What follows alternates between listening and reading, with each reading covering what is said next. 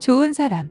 자기 일에 만족을 가질 수 있는 사람이 좋고, 어떠한 형편에든지 자기 자신을 지킬 줄 아는 사람이 좋고, 노래를 썩 잘하지는 못해도 부를 줄 아는 사람이 좋고, 어린아이와 노인들께 좋은 말벗이 될 수 있는 사람이 좋고, 책을 가까이 하여 이해의 폭이 넓은 사람이 좋고, 음식을 먹음직스럽게 잘 먹는 사람이 좋고, 철 따라 자연을 벗삼아 여행할 줄 아는 사람이 좋고, 손수 커피 한 잔을 탈 줄 아는 사람이 좋고, 이웃을 돌볼 줄 아는 사람이 좋고, 하루 일을 시작하기 앞서 기도할 줄 아는 사람이 좋고, 다른 사람의 자존심을 지켜줄 줄 아는 사람이 좋고, 때에 맞는 적절한 말 한마디로 마음을 녹일 줄 아는 사람이 좋고, 외모보다는 마음을 읽을 줄 아는 눈을 가진 사람이 좋고, 친구의 잘못을 충고할 줄 아는 사람이 좋다.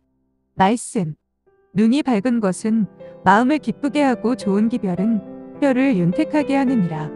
잠언 15장 30절.